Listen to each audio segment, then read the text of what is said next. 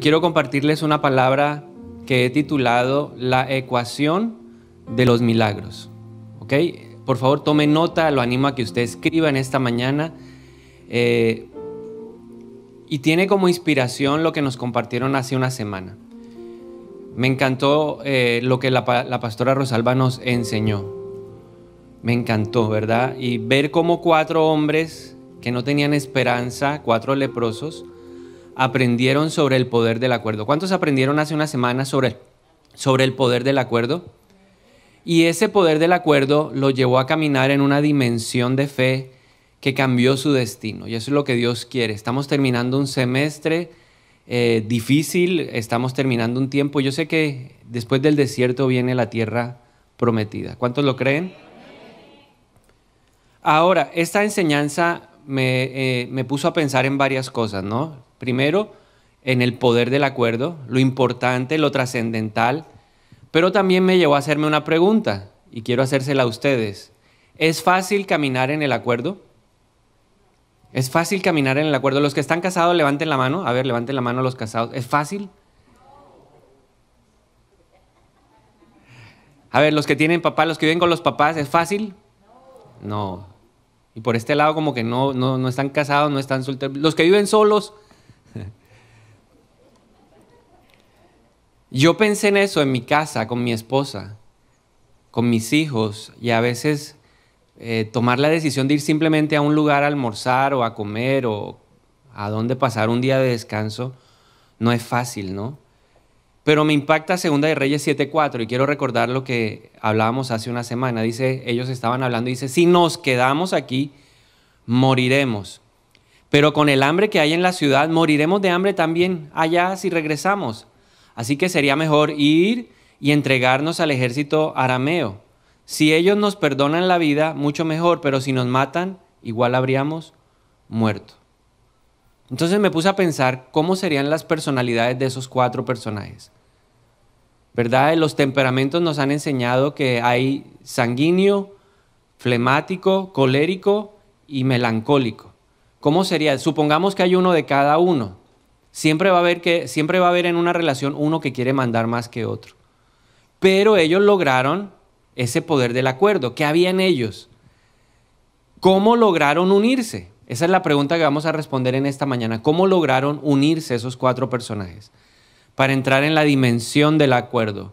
¿Cuántos quieren un nuevo camino de fe poderoso en este nuevo semestre? Entonces diga, esta palabra es para mí. ¿Cuántos están casados? Esta palabra es para usted. ¿Solteros? Levanten la mano. Esta palabra es para usted. Y la, Biblia nos da una respuesta a la pregunta de por qué estas cuatro personas con personalidades diferentes, con formas de ser diferentes, lograron unirse en el poder del acuerdo.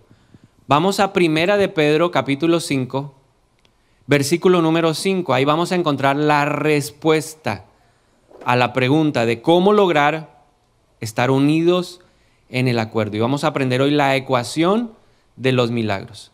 Primera de Pedro 5:5 dice, y todos sumisos unos a otros, revestidos de humildad, porque Dios resiste a los soberbios y da gracia a los humildes. Aquí está la respuesta a esta pregunta. La relación que tenían estos cuatro leprosos era una relación guiada por el Espíritu Santo. Y la palabra o el conector que había en la relación entre cada uno de ellos es la palabra sumisión. Diga conmigo, por favor, sumisión. Esa palabra es clave. Si nosotros queremos estar en el poder del acuerdo, Jesús dijo, dos o más puestos de acuerdo en mi nombre, le pueden pedir al Padre cualquier cosa y Él se las dará. Entonces, si queremos entrar en ese acuerdo y experimentar ese poder de Dios, necesitamos aprender a vivir qué? En el sometimiento. Aquí el apóstol Pedro dice, y todos, sumisos unos a otros. Ahora, esta es una palabra que no gusta mucho, es una palabra que de pronto ha sido malinterpretada. A veces la vemos como servilismo o la vemos como esclavitud. Pero preste atención a esta definición de sometimiento. Sometimiento significa unirse bajo la misma misión. Unirse bajo la misma bajo el mismo trabajo, unirse bajo el mismo encargo. Estos cuatro leprosos se unieron en el mismo propósito, se unieron en la misma misión. Y es lo que a veces a nosotros nos falta, ¿verdad? Como papás a veces nosotros nos desconectamos y se nos olvida que estamos unidos bajo la misma misión. ¿Cuál es la misión de un papá? ¿Verdad? El Salmo 127 nos dice que los hijos son flechas en las aljabas. O sea que la misión de un papá es lanzar a sus hijos más adelante desde donde ellos están, pero ubicarlos en el lugar correcto. Porque una flecha uno no la lanza a cualquier lado. La, la flecha cuando uno la lanza tiene el propósito y el objetivo de darle a un blanco que está adelante de nosotros. Entonces yo creo que ese es el propósito claro de unos papás. Pero a veces, en medio de la cotidianidad o de la vida diaria, se nos olvida que tenemos que estar ¿qué? unidos bajo la misma misión. Por eso a veces uno en medio de las consejerías se encuentra que la esposa se queja del esposo porque no la respalda en esto, o viceversa, el esposo que dice que la mamá lo desautoriza frente a los hijos. Y es porque no hemos entendido que estamos en la misma misión.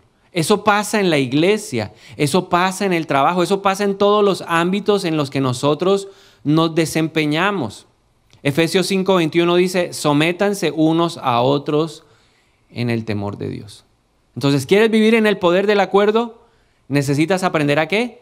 A unirte en la misma misión. No importa, mire, esos cuatro leprosos, seguramente el más flemático que no le gusta tener guerra con nadie, dijo, bueno, si ese es el que manda, yo me le pego.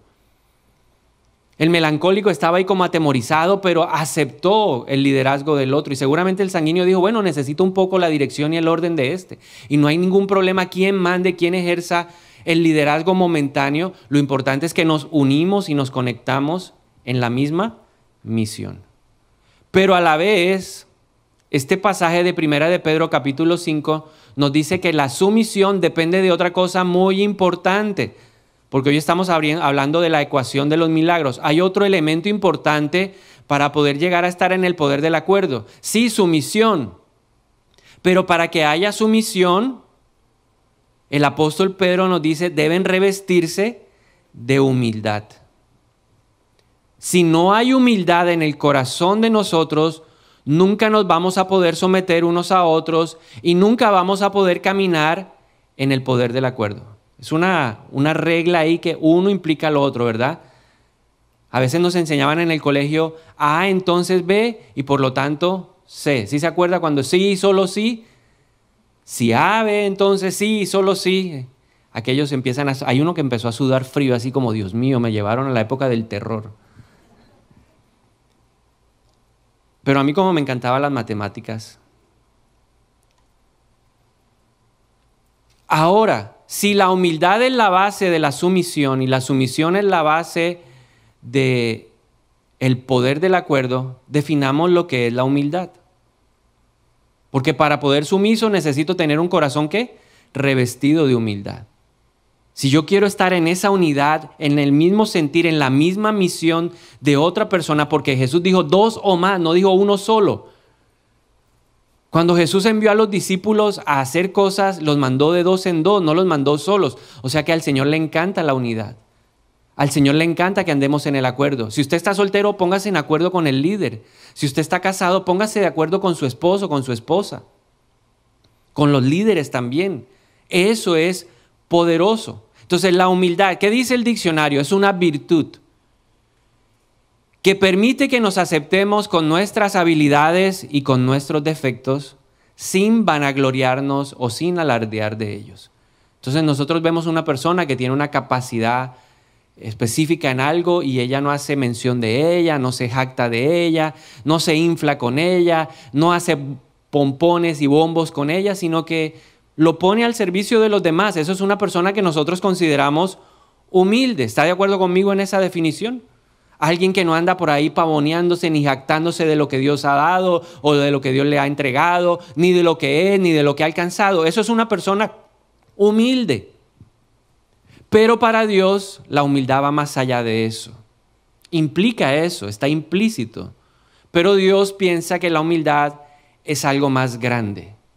Una persona humilde para Dios es una persona que tiene una virtud que es sembrada por el Espíritu Santo. Y eso es algo importante que tengo que entender. No es una virtud natural. Ser humilde no es lo natural. Lo natural es ser lo contrario, que es orgulloso. Por eso la Biblia dice que la humildad es un fruto, una semilla que surge en el corazón de una persona que ha sido impactada por el Espíritu Santo. Gálatas 5:22 dice, en cambio, la clase de fruto que el Espíritu Santo produce en nuestra vida es amor, alegría, paz, paciencia, gentileza, bondad, fidelidad, humildad y control propio. Entonces yo tengo que reconocer que eso es algo que no está o que no es natural, sino es algo, es una virtud que es sobrenatural, que viene de Dios, que siembra el Espíritu Santo. Entonces es un fruto del Espíritu Santo que nos ayuda a tres cosas. Grábese estos tres elementos de esa ecuación del milagro. Ecuación de los milagros. ¿Cuántos quieren milagros en su vida? Entonces grábese estos tres elementos de esta ecuación. Número uno, creer. Es una virtud, es un fruto del Espíritu Santo que me lleva a creer, a confiar y a obedecer a Dios. Para Dios, una persona humilde es alguien que en su corazón le puede creer, puede confiar y puede obedecer en su palabra.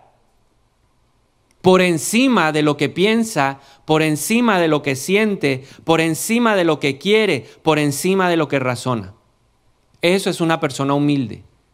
Ahora, como consecuencia, no se vanagloriará, como consecuencia, no se jactará de lo que tiene, de lo que hace, de sus capacidades, de sus atributos, de sus virtudes. Eso es una consecuencia de. Pero cuando Dios mira la tierra, porque sabemos que el Señor recorre siempre con su mirada la faz de la tierra, Él busca al humilde, porque Él dice que Él acepta al humilde, abraza al humilde, pero ¿qué hace con el soberbio? ¿O qué hace con el orgulloso? Lo rechaza lo aleja de Él. Una persona humilde es alguien que ha aprendido con la ayuda del Espíritu Santo a depender de la capacidad de Dios y no a depender de su propia capacidad. Cuando tú eres humilde, puedes aceptar la misión de Dios, porque tu corazón está preparado para someterse al plan de Él. Y tú entras entonces, al aceptar la misión de Dios, tú entras en el acuerdo con Él. ¿Habrá algo más poderoso que estar de acuerdo con Dios? Yo puedo estar de acuerdo con mi esposa, pero si estamos en contravía de lo que Dios está diciendo, Dios se opone. La palabra resistencia significa que literalmente Dios se opone. Dios está en contra de esa persona. Ahora, con esta definición clara, entendiendo que es un fruto del Espíritu Santo que me lleva a qué? A creer, a qué? A confiar, a obedecer. ¿Cuáles son los tres elementos de nuestra ecuación? Creer, confiar. Vamos, repítalo fuerte. Eso es humildad. Sometamos esa definición ante el hombre más humilde que conocemos. ¿Cuál es el hombre más humilde que tú conoces?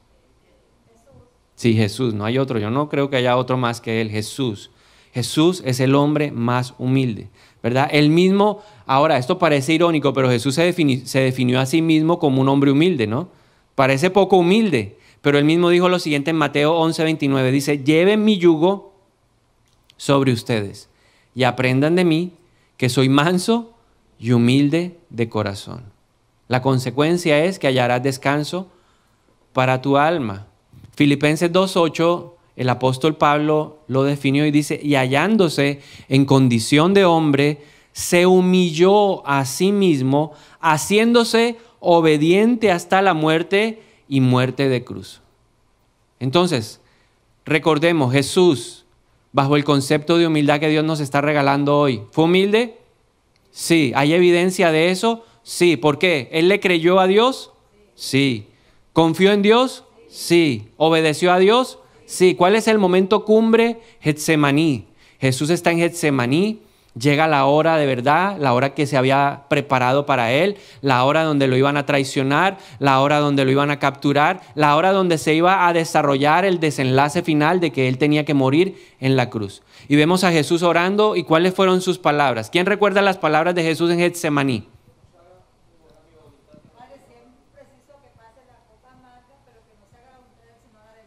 Correcto. Entonces, ¿qué dijo él? Señor, si es posible, si es posible, pasa de mí esta copa amarga, pero que no se haga mi voluntad, sino la tuya.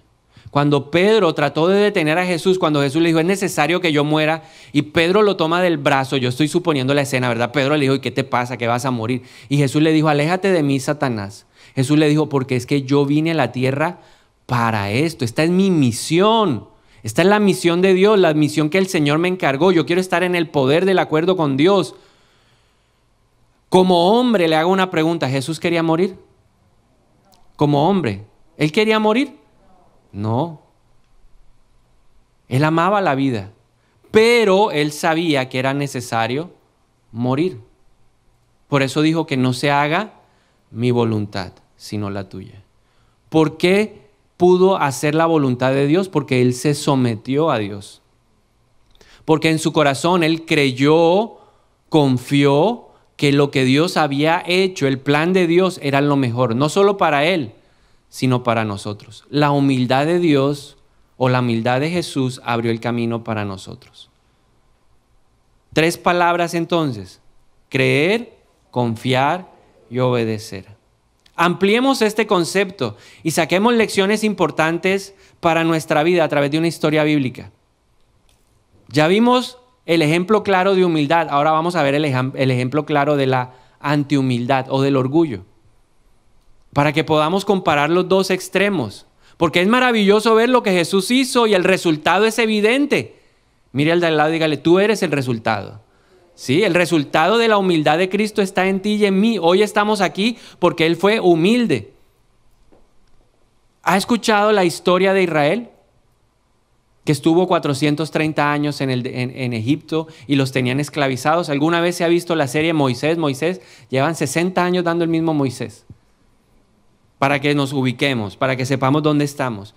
Y entonces ellos llegan un día como una familia, por una hambruna, eh, pasa el tiempo, la generación que llegó desaparece, el faraón que los conocía desaparece, aparece un nuevo faraón y empiezan a esclavizarlos. Y llegó un momento después de 430 años en donde la situación era tan apremiante que el pueblo desesperado empieza a clamarle a Dios y a decirle, ayúdanos, rescátanos. Dios saca de un desierto a un hombre que había vivido en medio de Egipto, a Moisés, y lo envía para sacar a Israel de Egipto. Moisés fue humilde, porque Moisés le creyó, confió y obedeció a Dios. Moisés fue humilde, por eso la Biblia dice que él es manso, el más manso que se conoce es Moisés. Y entonces el Señor usa a Moisés y lo saca de Egipto con brazo poderoso, los empieza a guiar de día y de noche, Luego el faraón se arrepiente de haberlos dejado ir y empieza a perseguirlos. Dios los defiende y ahí empieza un camino, cuando pasan el Mar Rojo, un camino hacia la tierra prometida. Empiezan a caminar. Dios no los lleva por el camino corto, porque saben que podrían regresar. Dios los lleva por el camino largo. Ya llevan un tiempo, más de un año. Llevan por el desierto. Y entonces en un momento, en medio de su travesía, Dios les habla lo siguiente. Números 13.2. Dios le dice a Moisés, envía hombres para que exploren la tierra de Canaán, la cual yo doy a los hijos de Israel. Envíen un hombre de cada tribu de sus padres, cada uno de ellos debe ser un dirigente entre ellos. ¿Cómo es Moisés? Humilde, porque él cree, él confía y él obedece a Dios. Y la palabra de Dios nos dice que Moisés hizo exactamente como Dios le mandó. Escogió a una persona, a un dirigente de cada tribu, los preparó y los comisionó para que fueran a explorar la tierra prometida. Ese viaje de exploración, de espionaje, duró 40 días. Al cabo de ese tiempo los espías regresan y se preparan para dar su informe. Se unen 10 de ellos y presentan lo que pudieron ver. Entonces dicen, la tierra que exploramos es una tierra estupenda. Es una tierra que realmente, como dijo Dios, fluye leche y miel. Y les presentamos lo que hemos traído y les mostraron el fruto de la tierra. Era impresionante. Pero ellos dijeron, tenemos algo más que decir. Les queremos informar que los hombres de ese lugar son gigantes, que las ciudades que hemos encontrado están fortificadas el ejército de ese lugar se ve como un poderoso guerrero y nosotros nos vemos como insectos, como langostas al lado de la gente de ese lugar. En conclusión, Si usted no quiere perder a su esposa y a sus hijos, no vaya a conquistar esa tierra. Ahora usemos la razón, porque Dios no quiere que pasemos por encima de ella. Si a usted le dicen, no salga de su casa porque lo que viene es peor, y le dan muestras científicas de que lo que viene es peor, ¿usted saldría? Pues más o menos eso era lo que le estaban diciendo estos espías a toda una nación, no vayan. Ya nosotros vimos con nuestros propios ojos que lo que hay que ir a hacer ese lugar es imposible. Si no quieres terminar siendo esclavo, si no quieres que maten a tu esposa y a tus hijos, no vayas. Pero por otra parte, dos espías, porque eran doce, llamados Josué y Caleb, interrumpieron y dijeron, nosotros también queremos dar nuestro informe. Nuestros compañeros están equivocados. La tierra efectivamente es buena, el fruto es muy bueno, fluye leche y miel. Pero a diferencia de ellos, nosotros creemos que sí podemos entrar y conquistarla. Aún hubo uno que fue más osado que el otro. Caleb fue más osado que Josué y dijo, ¿saben una cosa, compañeros, amigos, hermanos del pueblo de Israel? Eso es pan comido. Mira el de lado, dígale, eso es pan comido. Y no era pan comido porque ellos creyeran que eran más fuertes. Ellos reconocían que en esos lugares habían que gigantes. Lo que ellos reconocían es que Dios los iba a respaldar, porque Dios ya les había dado esa tierra. Ahora, ¿cómo reaccionó el pueblo aquí? ¿Cierto? Diez dicen una cosa, dos dicen otra cosa, entonces veamos cuál es la reacción. Números 14, 2 al 4 dice, todos los hijos de Israel se quejaron contra Moisés y Aarón. Toda la congregación les dijo, ojalá hubiéramos muerto en la tierra de Egipto, ojalá hubiéramos muerto en ese desierto ¿Por qué nos trae el Señor a esta tierra para caer a espada? ¿Para que nuestras mujeres y nuestros pequeños sean una presa? ¿No nos sería mejor volver a Egipto? Y se decían unos a otros, nombremos un jefe y volvámonos a Egipto. Frente a la definición que compartimos de humildad, ellos fueron humildes. ¿Por qué no fueron humildes? Porque no creyeron no confiaron y no que obedecieron. ¿Qué era lo que Dios les había dicho? Vayan a conquistar la tierra que yo les di. Pero ¿qué dijeron ellos? No vamos a ir. ¿Quiere conocer cuál fue la reacción de Dios? Por ti la voy a compartir, porque los demás no dijeron nada. ¿Cuántos quieren que compartamos la reacción de Dios?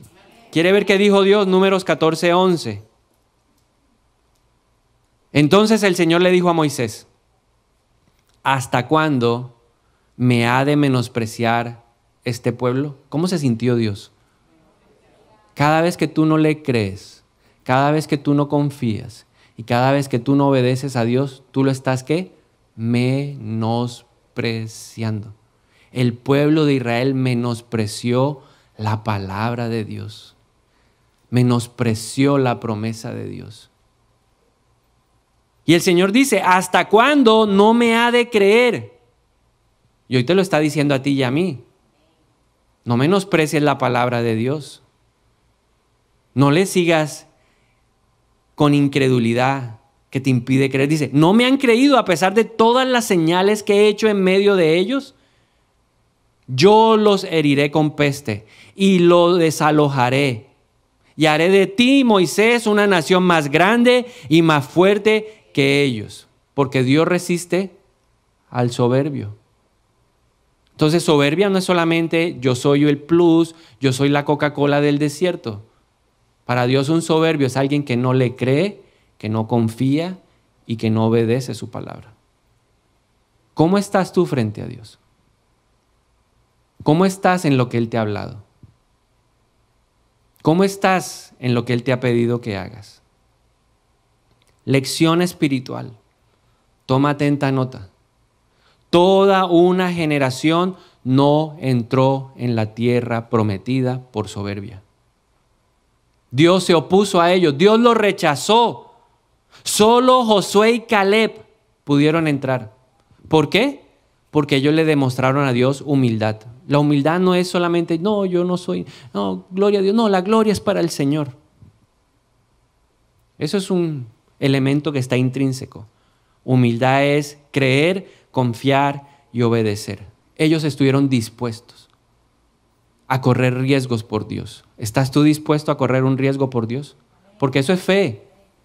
Certeza de lo que se espera, convicción de lo que no se ve. Si, tuviéramos, si supiéramos lo que va a pasar en el futuro, no tendríamos necesidad de la fe. Pero Dios nos da medida de fe y quiere que la fe crezca.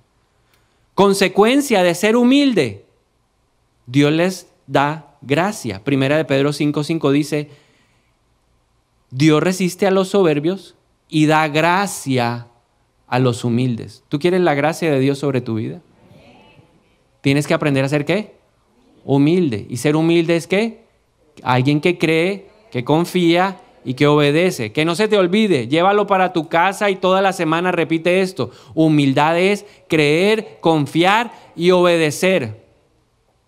Si yo creo y no confío, perdí el año. Si yo creo y confío y no obedezco, perdí el año. ¿Cómo vas a obtener un milagro? Sí y solo si crees, obedeces y confías. Matemática básica espiritual. Sí y solo sí. Los tres están ¿qué? unidos. No se pueden separar. Ellos recibieron gracia. ¿Sabes qué trae la gracia a la vida de una persona? La gracia trae el poder de Dios. Segunda de Corintios 12:9, Pablo dice, y me ha dicho, bástate mi gracia, porque mi poder se perfecciona en la debilidad. Mi poder se perfecciona en la debilidad, en la gente humilde, en el que cree, en el que confía y en el, en el que obedece. ¿Cuántos quieren el poder de Dios en su vida? ¿Qué hay imposible para el poder de Dios? Nada, pero usted necesita qué? Humildad. Cuando Dios ve a alguien humilde, dice, cuentas con mi gracia, tienes mi poder para hacer las cosas.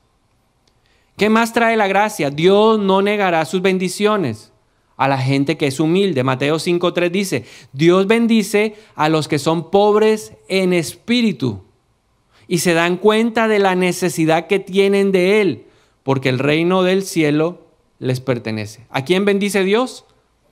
A los humildes, a los que le creen, a los que confían en Él y a los que obedecen. Tres elementos de esa ecuación de los milagros. ¿Qué más trae la gracia? Dios te va a enaltecer, Dios te va a conceder honor. Porque a veces nosotros no queremos, no, que, no, quiero. Mire, si Dios lo quiere hacer famoso, lo va a hacer famoso. O David no es famoso.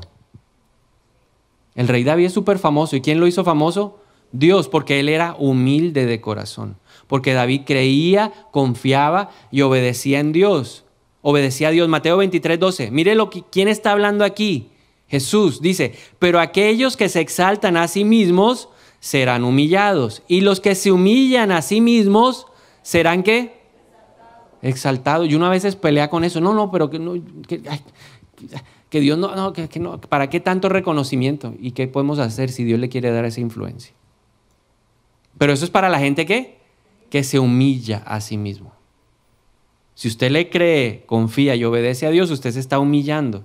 Y finalmente, en cuarto lugar, sus relaciones van a prosperar. Romanos 12, 16 dice, vivan siempre en armonía. Y no sean orgullosos, sino traten como iguales a la gente humilde. No se crean más inteligentes que los demás. Y la pregunta entonces con la que vamos a terminar esta mañana es, bueno, ¿y cómo nos vestimos de humildad? ¿Cómo podemos trabajar en nuestra vida la humildad? ¿Cuántos quieren ser humildes de corazón? Porque la humildad te lleva a qué? A ser sumiso. Y la sumisión te lleva a vivir en qué? En el acuerdo. No importa quién mande. Porque a veces uno como hombre se siente intimidado porque la mujer tomó una decisión y uno, eh, yo soy la cabeza, respete. O a veces a los hijos les da rabia que el papá tome la decisión. O viceversa, hay papás que se molestan porque los hijos lo hacen. Lo importante no es quién lo haga, lo importante es que lo hagan qué? En el acuerdo. Y que sea una decisión tomada basada en qué? En la palabra de Dios. Dos cosas.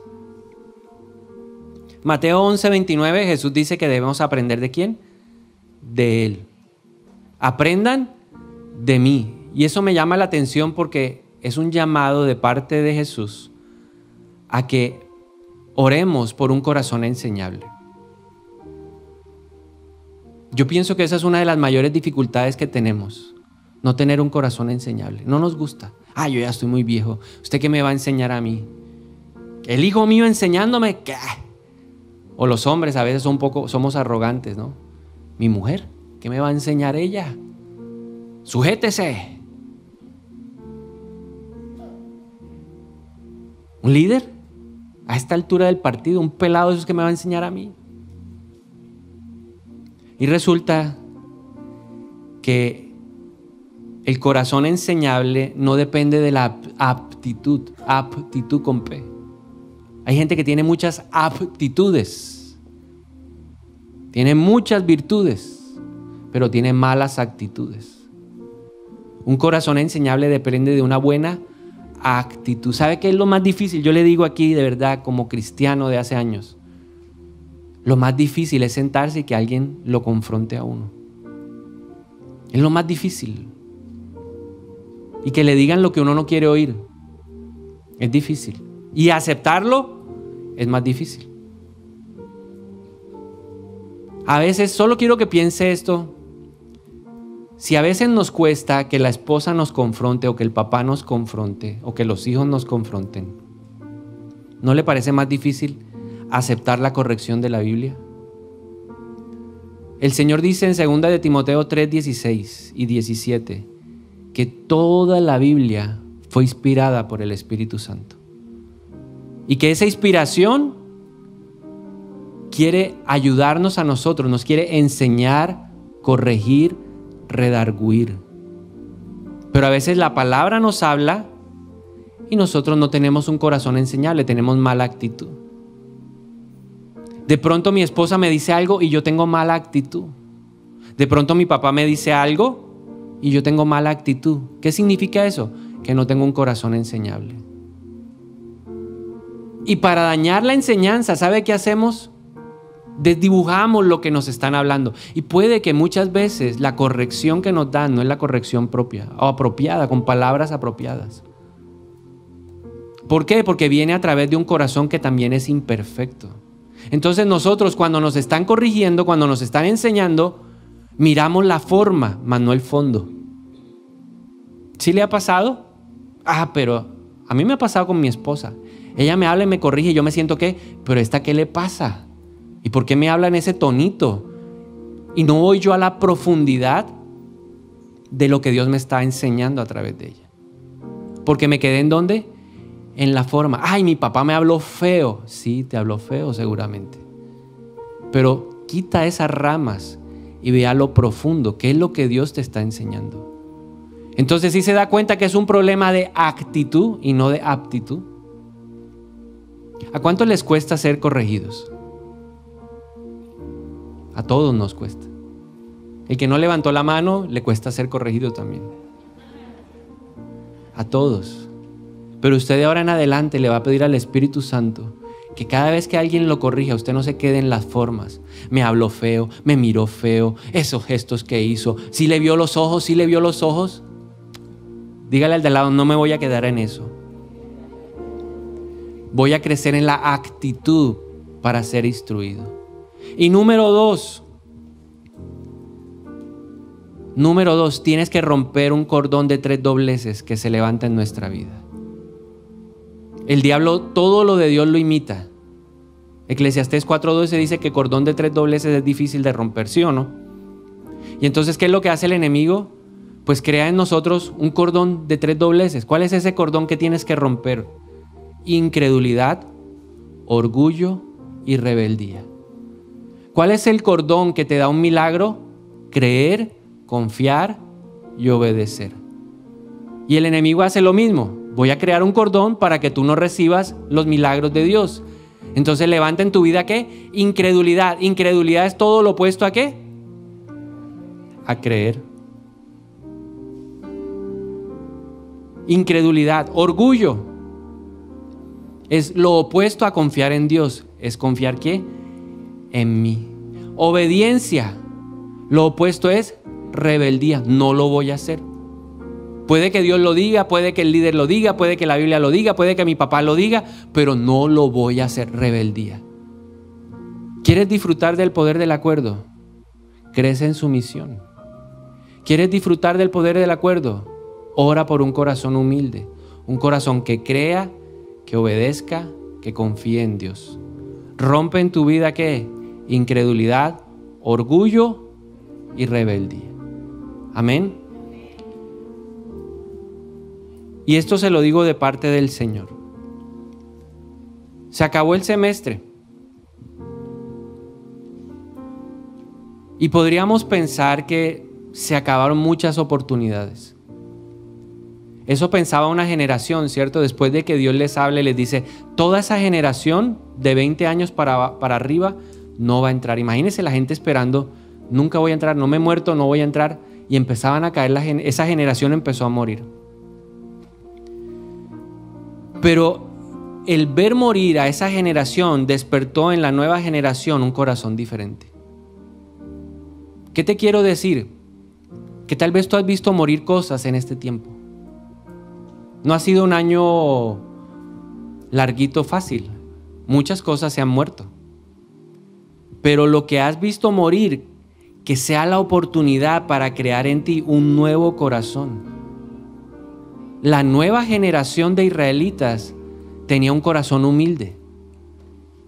A pesar de que sus papás, a pesar de que lo pasado no fue humilde, ellos aprendieron a través del error de los otros humildad. ¿Por qué? Porque ellos sí le creyeron, ellos sí confiaron y ellos sí obedecieron a Dios. Resultado, entraron en la tierra prometida. Y tal vez hoy tú te estás juzgando, no, yo no hice esto, esto, otro, no importa. Hoy el Señor te dice, déjalo ahí. Sé como la nueva generación de Israel. Si tienes vida, por algo es.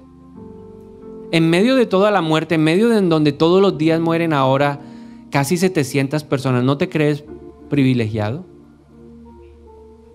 ¿Cuántos no nos creemos bendecidos por Dios porque estamos aquí? ¿Te duele algo? No es nada frente a la muerte.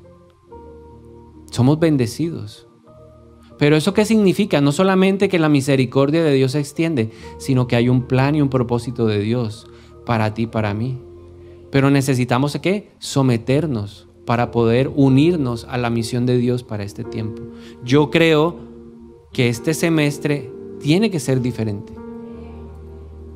En lo espiritual. Y cuando veamos la diferencia en lo espiritual, vamos a ver la diferencia en las demás áreas de nuestra vida. ¿Hasta cuándo vas a permitir que la frialdad, que lo que ha pasado en este tiempo te siga impactando? ¿No crees que es hora de levantarte, romper la incredulidad, romper el orgullo, romper la rebeldía y decir, Dios, yo estoy dispuesto a unirme en la misión contigo? Yo estoy dispuesto a enfocarme en lo realmente importante, porque yo creo que al final de todo este ejercicio es darnos cuenta de lo que es importante. El cielo y la tierra pasarán, y la gente se enfrenta y siguen pensando en una cosa y en otra cosa. Pero en realidad aquí lo importante es, ¿qué va a pasar con el reino de Dios? ¿No será que estamos llamados a que el reino de Dios crezca exponencialmente en el segundo semestre? Que dejemos de enfocarnos tanto en el ombligo y empecemos a mirar qué es lo que Dios tiene. Yo quiero decirte hoy, el que está así medio percudido y medio apagado por la pandemia, yo quiero decirte hoy de parte de Dios, levántate y despercúdete. Sí, la Biblia dice en realidad, levántate y resplandece, pero yo te digo hoy en el nombre de Jesús, levántate y despercúdete, ya es hora. Sí, despercúdase. Deje de quejarse. Ay, esto y lo otro, no. Llegó la hora de levantarnos. Amén. Y yo quiero orar hoy con aquellos que se quieren levantar y quieren revestir su corazón de humildad para ponernos de acuerdo con Dios. Gracias Señor. Gracias Señor. Gracias. Hay vida, hay vida. Hay esperanza en ti, Señor. Te amamos. Y te damos muchas gracias por tu palabra, Señor. Gracias porque hoy tu palabra es lámpara. Tu palabra es lumbrera. Tu palabra es luz en nuestra vida, Señor. Tu palabra es luz. Gracias, Señor. Luz. Hoy te pedimos perdón en el nombre de Jesús, porque hemos dejado que el orgullo, que la incredulidad, que la rebeldía nos alejen de tu misión, Señor. Perdónanos en el nombre de Jesús. Y hoy reprendemos estas actitudes de nuestra vida. Queremos decirte, Señor, queremos cambiar. Queremos estar unidos contigo, pero para eso necesitamos orar por un corazón humilde. Y yo oro hoy en el nombre de Jesús por un nuevo corazón. Oro por un nuevo corazón, Señor.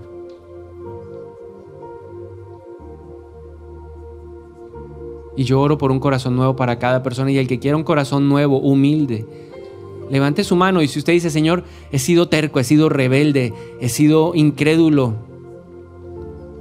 Pero hoy oro porque creo en tu palabra, Señor. Y tu palabra dice que tú sí mudas el corazón. Y yo creo que hoy estás haciendo algo poderoso, Señor. Algo poderoso en mi vida, en la vida de todos los que están en el acuerdo conmigo, Señor. Yo creo que hoy estás quitando la piedra y estás poniendo un corazón de carne dócil para obedecerte, para creerte, para confiar en ti. En el nombre de Jesús. Y tú le vas a decir a Dios a través de, de esta canción, te entrego lo que soy